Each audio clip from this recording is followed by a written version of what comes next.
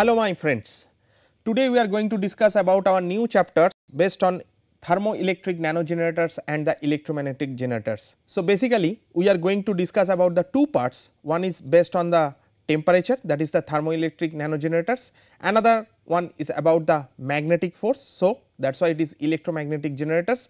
So, we are going to discuss both the mechanism in this particular lecture. So, if you remember in my last lecture we have also discussed about that pyroelectric nanogenerators. So, basically the difference between the thermoelectric and the pyroelectric nanogenerators is that pyro basically it depends upon the temperature with time and in the thermo basically we are measuring the efficiency in terms of space means area. So, that is temperature in terms of area. So, that is only the basic difference in between the pyroelectric and the thermoelectric. So, in this particular case also the same thing whatever the waste energy we are getting from different sources. So, basically we are collecting those sources and then we are converting that particular heat energy into the electric energy. So, either it can be some kind of combustible uh, gases or maybe it can be from the uh, sunlight. So, whatever the sunlight we are not using then that type of energy or maybe our body temperature also. So, that temperature basically we are collecting and then we are converting into the electricity. So, basically nowadays you can see that lots of energy basically we are wasting because in the winter time when we are heating the water. So, basically that time the water is highly heated up or maybe we are flowing some kind of heat source like in terms of maybe hot air or maybe some kind of hot gas or maybe hot fluid throughout the pipe. So, due to that uh, some heat is coming outside the pipe itself. So, if we are able to collect those kind of heat energy and be able to convert those heat energy into the electrical energy because that is the wastage of the thermal energy. So, basically the waste thermal energy is one of the largest source of inexpensive clean and fuel free energy available. Yes of course, because we are not going to generate or maybe burning any kind of materials or maybe we are not generating any kind of toxic gases or maybe it is not harmful to the environment or maybe the human being. So, thermoelectricity is a promising technology in the direct conversion that is waste heat energy into electrical power. Thermoelectricity refers to a class of phenomena in which a temperature difference creates an electrical potential or maybe the vice versa. At atomic scale an applied temperature gradient causes charge carriers in the material to diffuse from the hot side to the cold side thus inducing a thermal current. So, as I told already, so when we are transferring the heat source from one place to another. So, due to the transferring of the heat source basically if we are able to collect that transfer mechanisms. So, we can convert it into the electrical energy.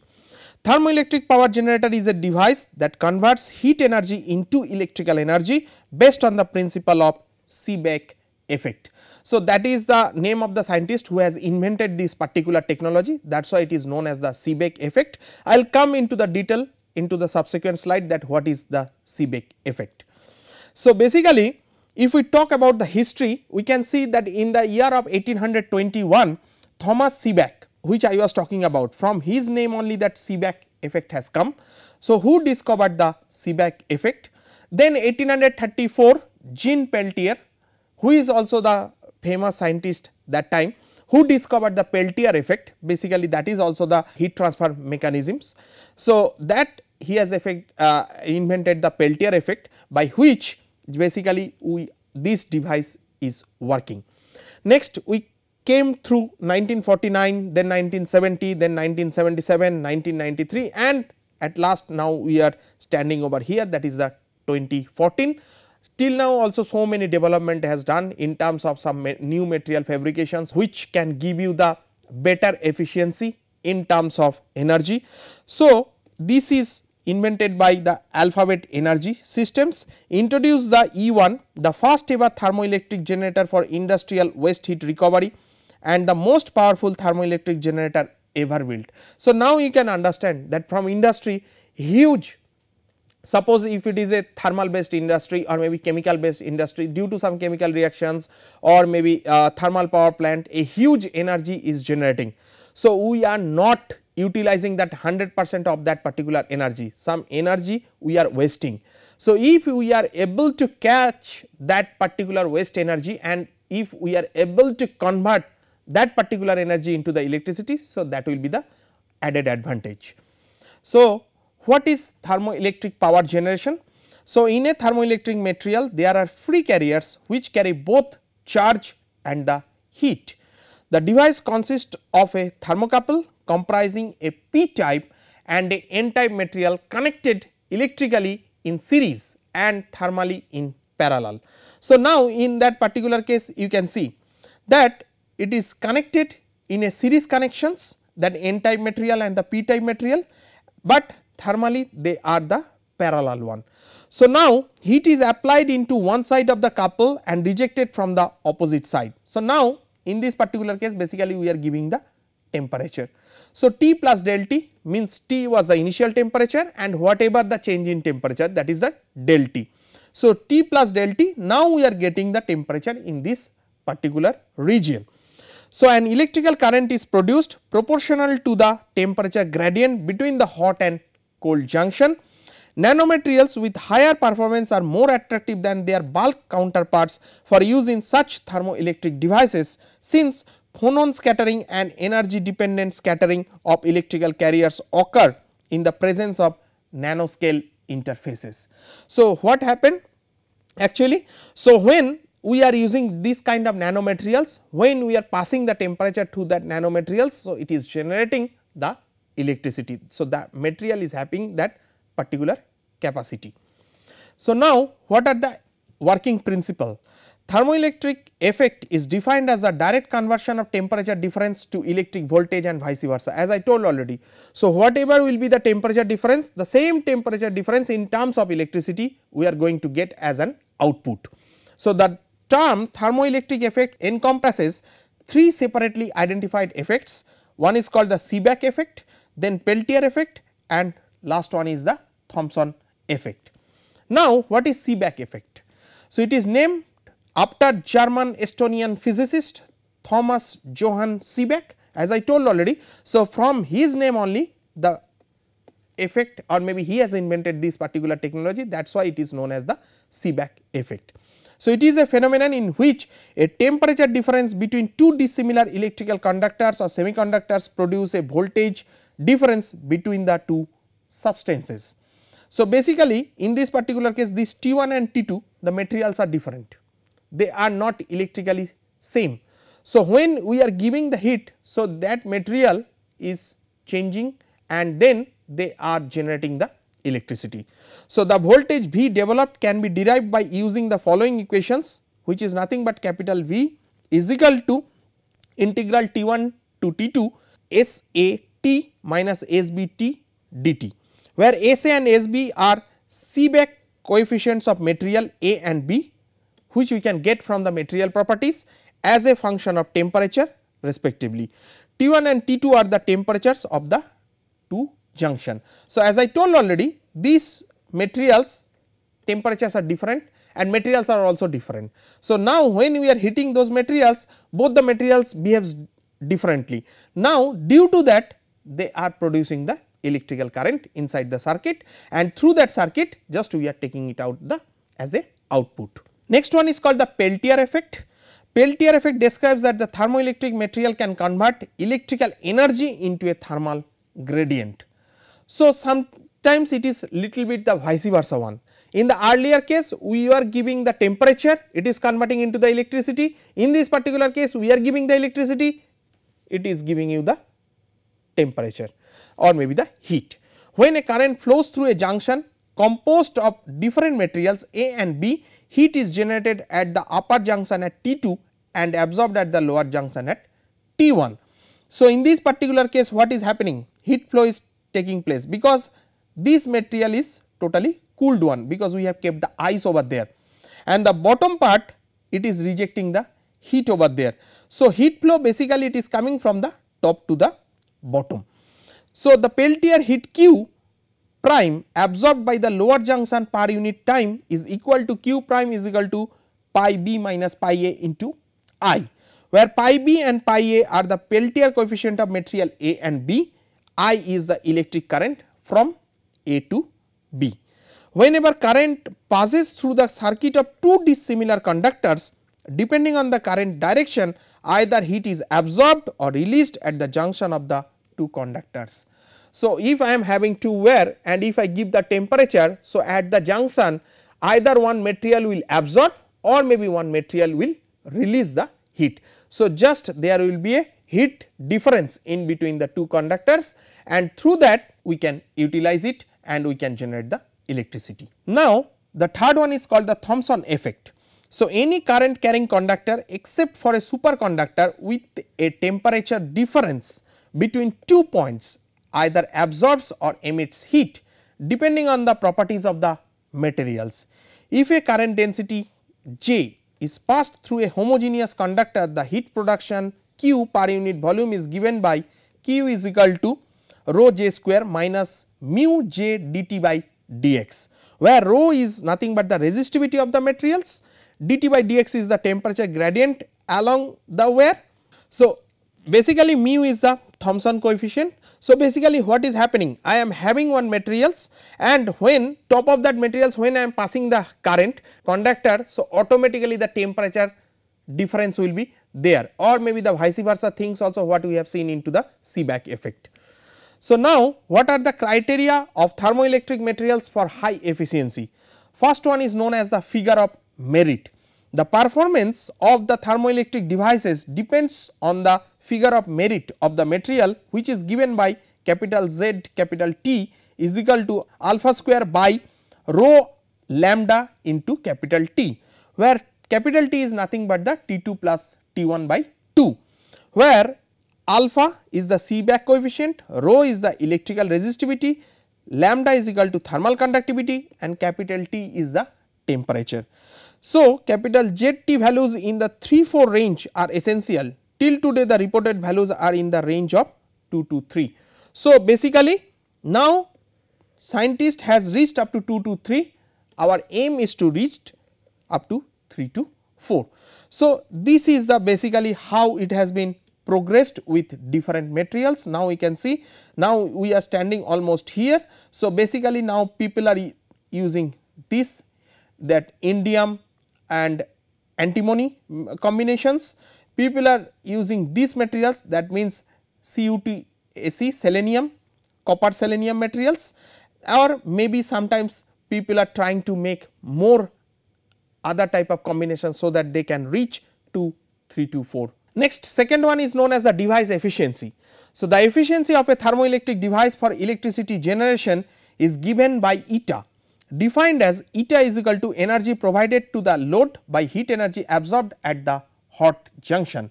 The maximum efficiency eta max is defined as by these particular equations, where this TH and TC are the temperature at the hot and cold junctions respectively and ZT is the modified dimensionless figure of merit.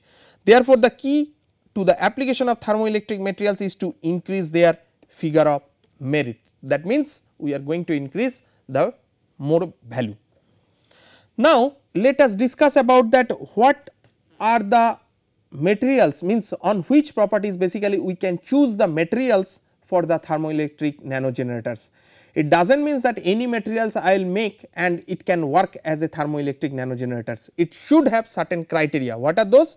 The material should have high Seebeck coefficient, low electrical resistivity and low thermal conductivity. So, these three are the prime considerations for choosing any kind of thermoelectric nano generators. So, let us give some examples that what type of materials nowadays we are using.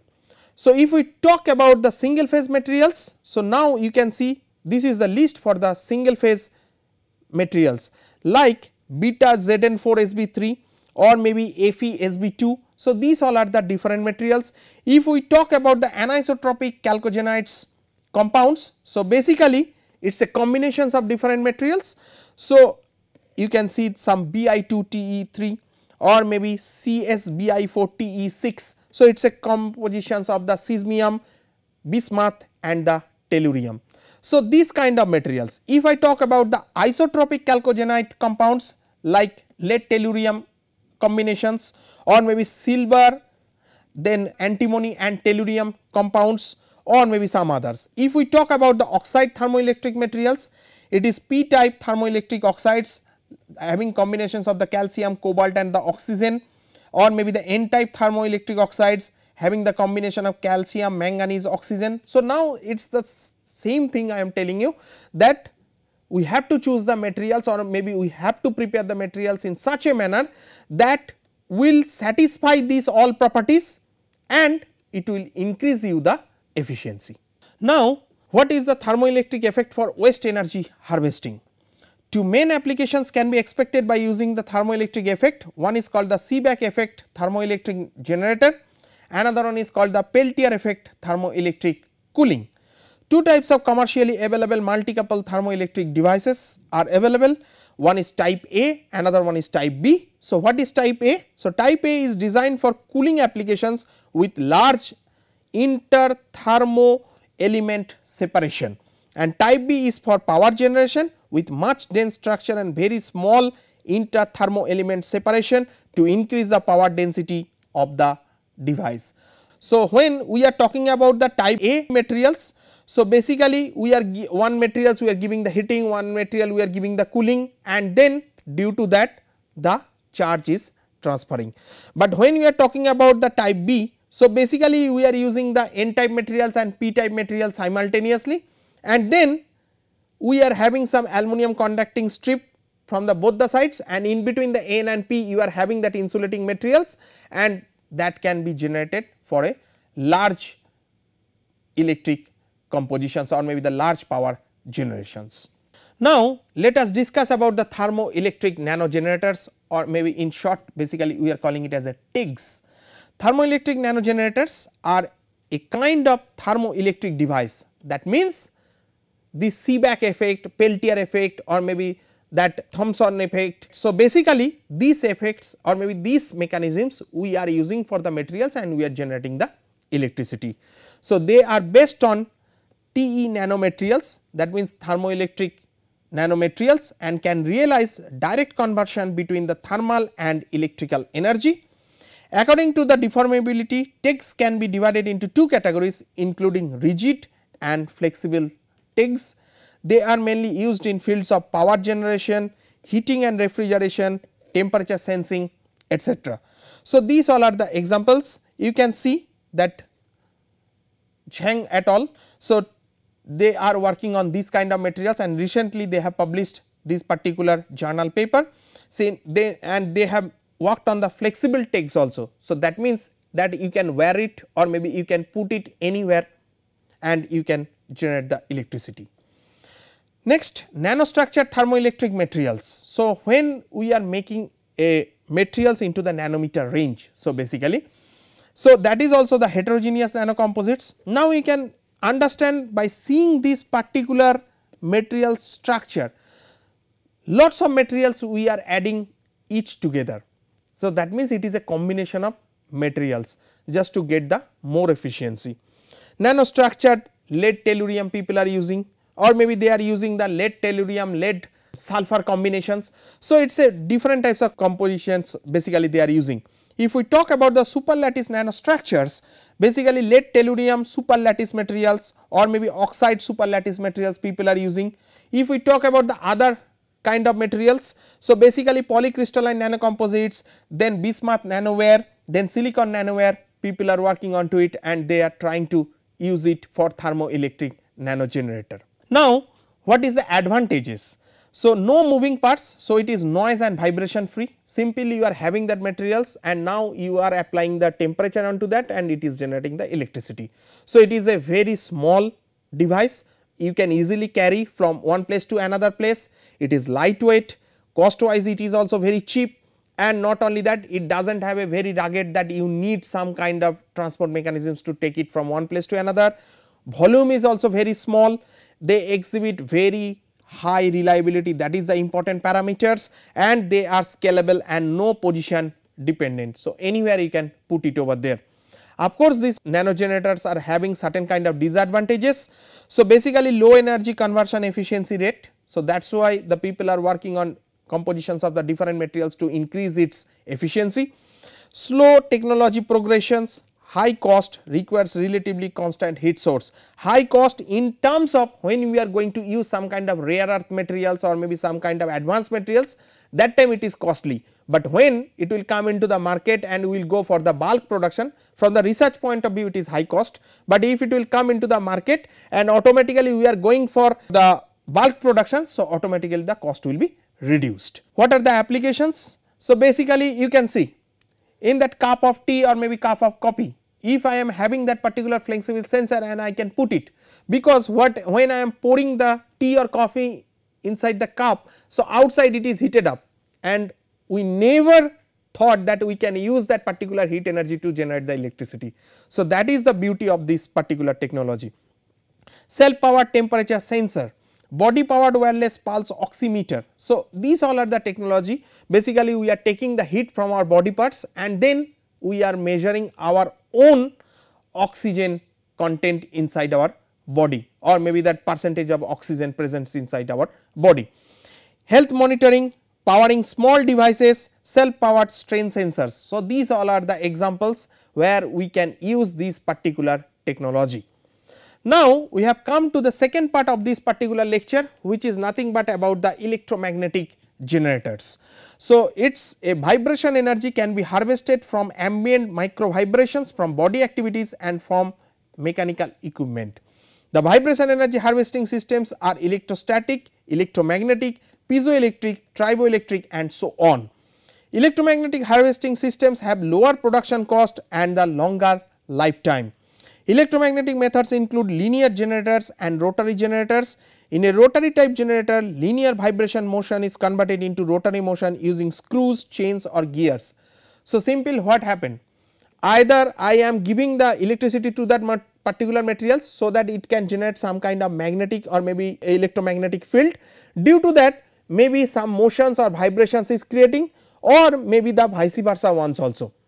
If the material is having that capability, if I give certain kind of motion or vibration to that particular materials, it can generate the electricity. So, in this particular case what happened? In the shaft, best example in the fan. So, we are using that magnet. So, basically the when the magnet is rotating so, in, in this particular case we are giving the electricity and the magnet is rotating. If I do the opposite thing also, if I rotate the magnet and due to that the electricity can be generated. So, this is the basically principle of this particular technology. Now, if we talk about the linear magnetic generator, it consists of an armature, stator and case as shown in that particular image. So, this is basically the case I am having that coil. So, as I told already I am using the permanent magnet over there.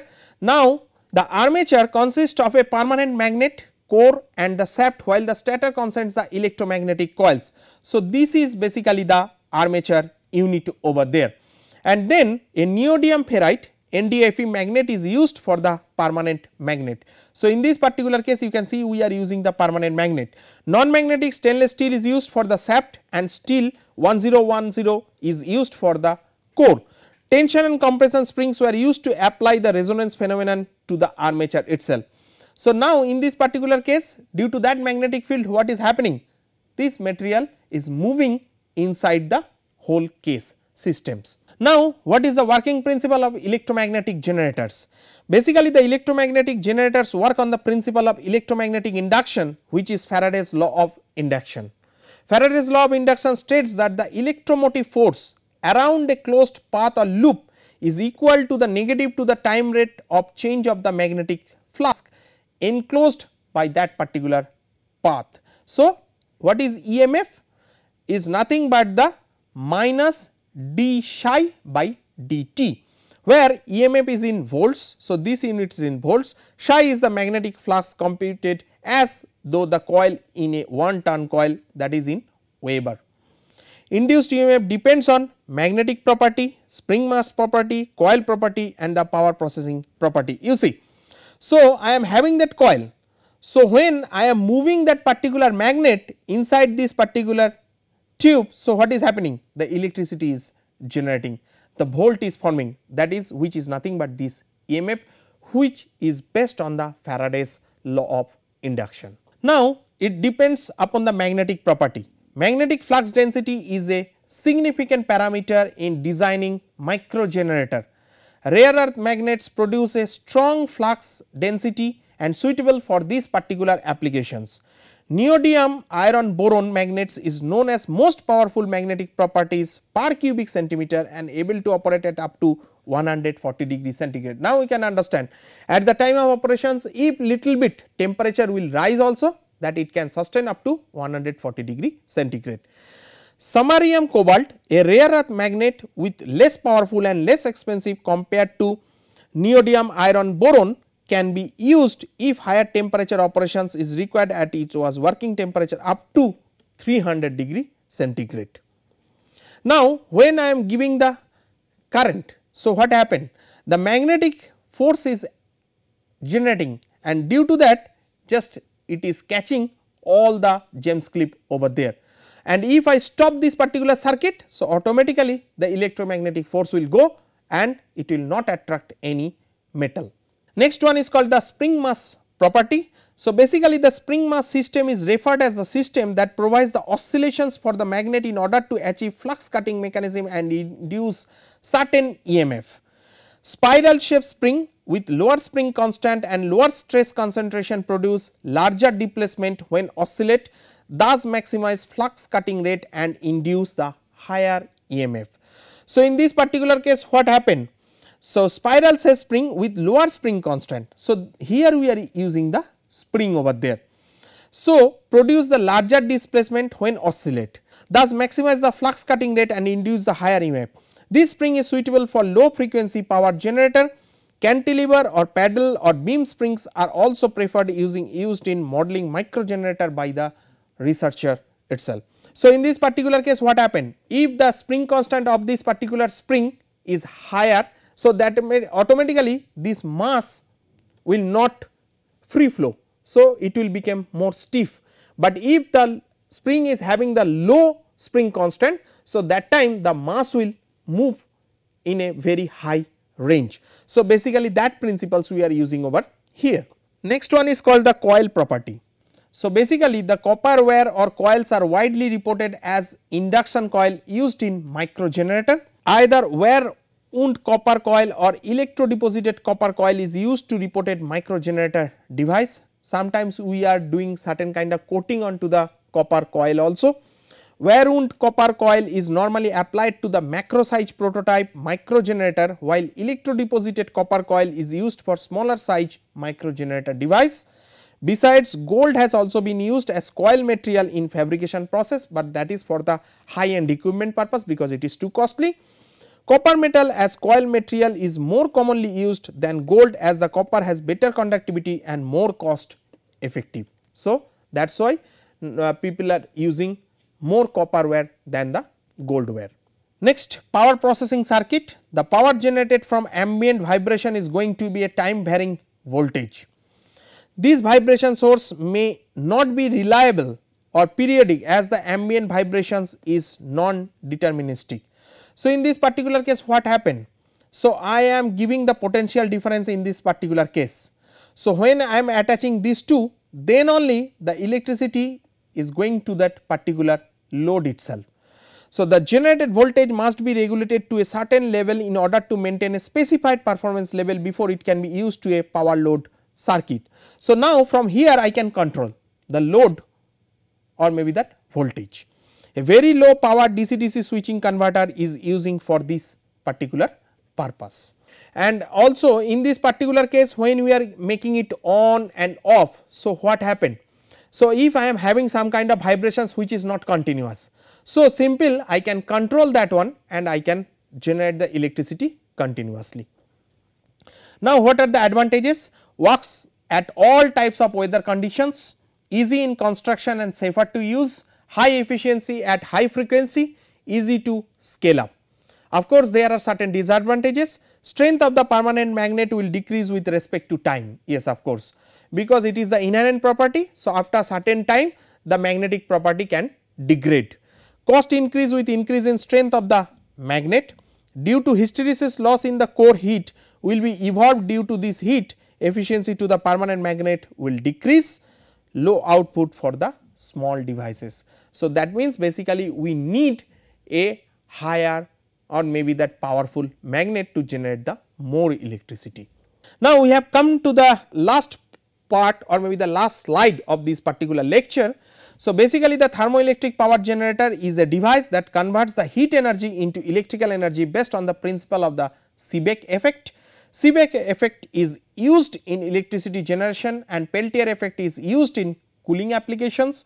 The performance of thermoelectric device depends on figure of merit. This is the main parameter over there of the material TEGs can be divided into two categories including rigid and flexible TEGs. Electromagnetic methods include linear generators and rotary generators. Copper wire or coils are widely reported as induction coil used in electromagnetic micro generator. Sometimes we are using the gold wire also. Thank you.